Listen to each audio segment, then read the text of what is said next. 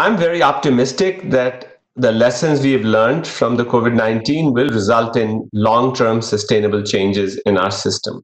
The three things that I see, two which have almost certainly happen, is one is we will have a greater emphasis on public health and systems rather than just care delivery pathways.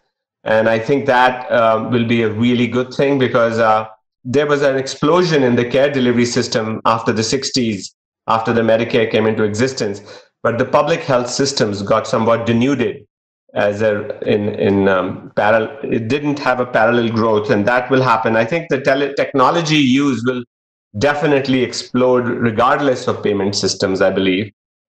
But the one area that I, I am a little nervous is the area where I work in, that we would prefer if we don't have the training and mentoring and coaching of the healthcare workforce, from community health workers to doctors, linked to a visit, which it is currently. The Medicare payment uh, rolls it into a visit, the provider training piece. And I think decoupling that and putting it into the public health arm for quality improvement and training and coaching is an essential thing. And I'm less optimistic about that.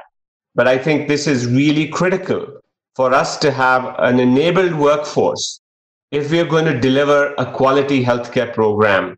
So that's what my hope is. But the former two, I think, will almost certainly occur.